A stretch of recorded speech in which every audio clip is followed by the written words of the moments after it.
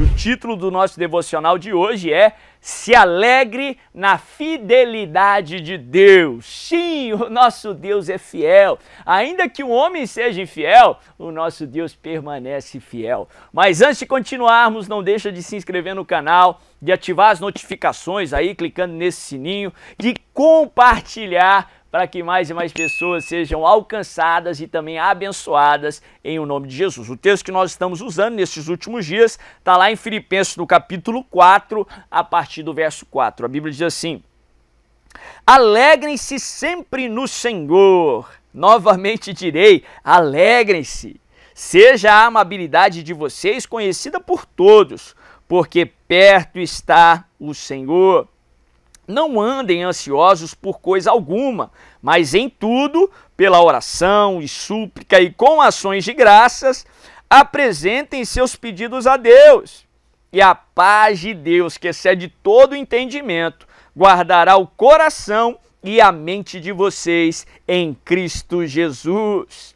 Finalmente, irmãos, tudo que for verdadeiro, tudo que for nobre, tudo que for correto, tudo que for puro, tudo que for amável, tudo que for de boa fama, se houver é, algo de excelente ou digno de louvor, pensem nessas coisas. Põe em prática tudo que vocês aprenderam, receberam, ouviram e viram em mim, e o Deus da paz estará com você. Paulo aqui numa situação extremamente desfavorável. Nós falamos aqui é, nas, nos devocionais anteriores. Se você quiser os assistir, clica aqui no link, você vai ver a playlist com todos os devocionais que já estão disponíveis. Paulo, ele estava numa prisão romana, já ali com seus 60 anos de idade, cerceado da sua liberdade, depois de ter sofrido um bocado, numa situ situação extremamente desfavorável e ainda assim, ele fala como se ele estivesse ali numa ilha deserta, numa situação de extrema tranquilidade. Ele diz: alegrem-se sempre no Senhor. Outra vez digo: alegrem-se. Não andem ansiosos por coisa alguma, porque aí a paz do Senhor, que excede todo entendimento, vai guardar o teu coração e a tua mente no Senhor. Nós compartilhamos aqui que a alegria não é para ser algo circunstancial. Sim, é uma emoção, é um presente dado por Deus, que não era para ser baseado em coisas ou circunstâncias. Sabe por quê? Coisas e circunstâncias, elas podem mudar. Nós fomos criados para ter relacionamento com Deus. E a alegria plena que Deus quer nos dar não é para ser circunstancial, porque não é para ser baseado em circunstâncias, mas sim baseadas no Senhor. Por isso que Paulo diz: alegrem-se no Senhor. Algo que naturalmente falando você não vai fazer, você precisa ser intencional, você precisa se esforçar.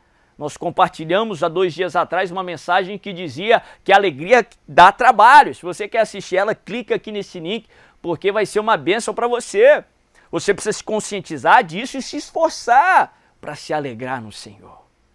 Hoje eu quero compartilhar um atributo do Senhor que vai te fazer, aliás, que vai fortalecer a sua fé apesar de circunstância e vai te ajudar a encontrar esse lugar de alegria que não é circunstancial, que você só encontra no Senhor, que vai te ajudar a olhar para o Senhor e buscar o Senhor sempre, em toda e qualquer circunstância, para que você tenha essa alegria perpétua, essa alegria plena que só o Senhor pode dar.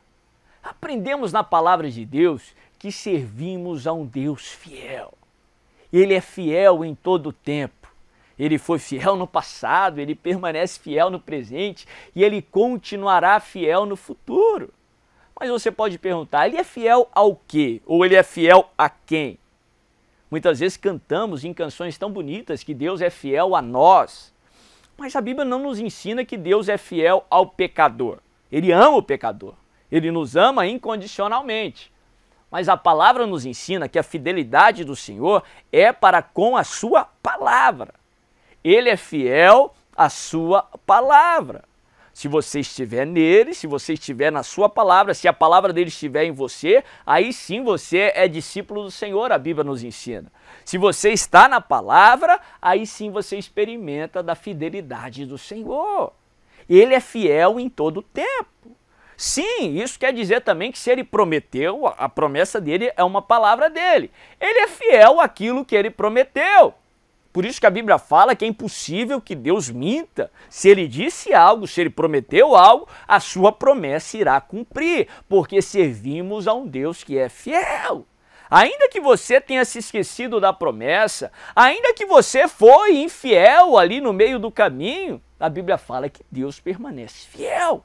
Se ele prometeu, ele vai cumprir. Se ele disse, é impossível que ele minta, é impossível que, que não aconteça o que ele disse, porque servimos a um Deus que é fiel.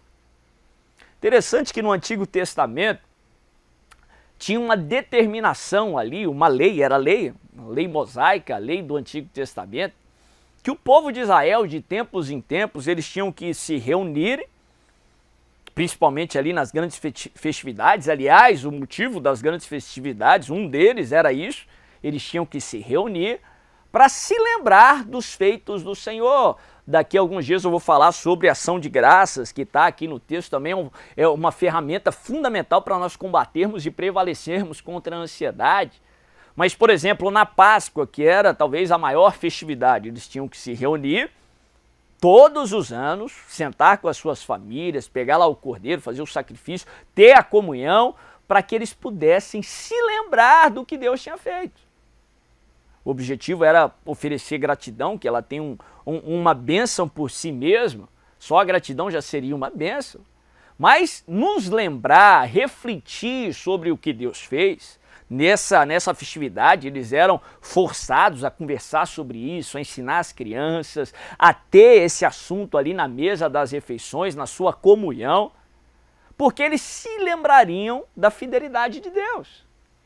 O mesmo Deus que, com mão poderosa, livrou eles de Faraó. O mesmo Deus que, com mão poderosa, enviou suas pragas ali, aquelas maravilhas sobre o Egito de tal maneira que Faraó foi forçado a liberar o povo de Israel. Ele não liberou de livre e espontânea vontade, foi de extrema pressão do Todo-Poderoso, do Deus de Israel. De como Deus tinha abrido o mar vermelho, ou aberto o mar vermelho, com mão poderosa, de uma maneira sobrenatural, a tal ponto que o povo de Israel passou a seco e os egípcios, quando tentaram os perseguir, foram sucumbidos, engolidos pelo mar que eles tinham que se lembrar, sim, para agradecer ao Senhor, mas aquela reflexão, aquela memória, lembrava eles da fidelidade do Senhor, fortalecia a fé do coração deles, porque assim eles se lembrariam, ou o que Deus fez pregaria a mensagem para eles, que o mesmo Deus que foi fiel lá atrás, ele permanece sendo fiel no presente e vai permanecer sendo fiel no futuro que você possa se lembrar dos grandes feitos do Senhor na sua vida. Que você possa se lembrar daquilo que ele fez na sua vida. Como você chegou até aqui, não era para você estar aqui. Você só está aqui, você só está assistindo esses devocionais, porque a boa mão do Senhor te trouxe até aqui. O Deus que fez abrir o mar vermelho lá atrás, vai abrir esse rio Jordão que está diante de você. O Deus que foi fiel lá atrás com você, ele vai permanecer sendo fiel no futuro. Se lembre que Deus é fiel. Tem um texto tremendo do profeta Jeremias, e eu quero concluir o nosso devocional de hoje lendo. Está lá em Lamentações, no capítulo 3 o profeta Jeremias, também nós vamos explorar um pouco mais esse texto no momento de muita dificuldade. O profeta Jeremias lamenta pela condição, pelo estado de Israel, em profunda tristeza, e ele nos ensina tanto, Lamentações 3, a partir do verso 19, ele diz assim: Lembro-me da minha aflição e do meu delírio, da minha amargura e do meu pesar. Lembro-me disso tudo e a minha alma desfalece dentro de mim. Se você ficar ruminando aí no seu problema, na sua preocupação, tua alma vai desfalecer dentro de você também. Verso 21. Todavia, lembro-me também do que pode me dar esperança. Graças ao o grande amor do Senhor é que não somos consumidos, pois as suas misericórdias são inesgotáveis, renovam-se cada manhã e grande é a sua fidelidade Digo a mim mesmo: a minha porção é o Senhor, portanto nele porei a minha esperança. O Senhor é bom para com aqueles cuja esperança está nele, para com aqueles que o buscam. É bom esperar tranquilo pela salvação do Senhor. Ah, meu irmão, se você pôr a, tua cabeça aí nos seus problemas, você vai desfalecer. Mas se você colocar na tua mente que grande é a fidelidade do Senhor, que as misericórdias dele que te trouxeram até aqui, que foi a causa de você não ser consumidos, que a, a bondade dele não tem fim, nós vamos falar sobre a bondade dele um pouco mais amanhã mas se lembre desse atributo do Senhor. Grande é a fidelidade do Senhor, o nosso Deus é fiel. Se lembre dos feitos do Senhor, de como ele te trouxe até aqui, para que isso possa te lembrar e fortalecer a sua fé, porque o mesmo Deus que foi fiel com você lá atrás é fiel no presente e vai permanecer no futuro. Se essa mensagem falou com você, não deixa de curtir esse vídeo, de inscrever nos, nesse canal, ativando as notificações. Compartilhe aí na seção dos comentários aqui embaixo sobre algo que Deus falou com você e compartilhe esse vídeo para que mais e mais pessoas sejam alcançadas e abençoadas em nome de Jesus.